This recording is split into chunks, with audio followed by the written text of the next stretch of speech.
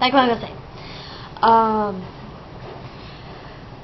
is being yourself is, means to me is always don't change, nothing else, just being yourself is the better thing. And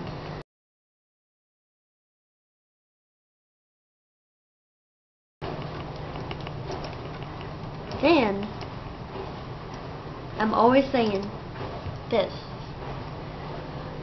Always be yourself. Don't let no one change you who you are.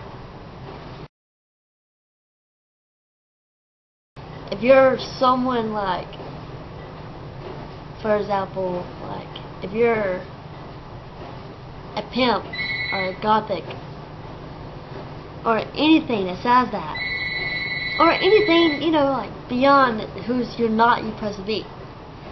Yourself and don't change who you are.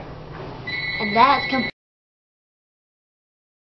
be yourself and you do not need to be a pill. Because it's fun to be yourself. If you're not being yourself, no one can't like you or love you who you are. Be yourself. If someone changes you, try to say you're not being yourself, saying someone try to change you as a pimp or gothic or emo or anything out there says them stuff. I just saying. Do you it feels like loving someone feels like the same way? Don't let no one change you. That's how people love you more and have more friends. Always be yourself. Happens. Always to be yourself is the best thing for a guy or a girl. Because it's better to be yourself more than not being yourself. And if you change everything about anything, you like someone It's better than anything in the world. If you have Facebook, let me know. If you need someone to talk to, it's Alley Simpson. but be yourself. Stop being someone you're not.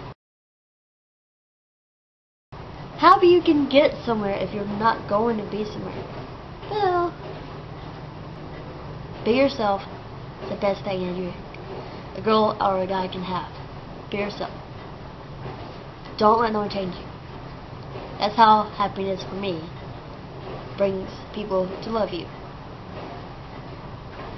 Don't forget, always be yourself. Always. I know this is some of it.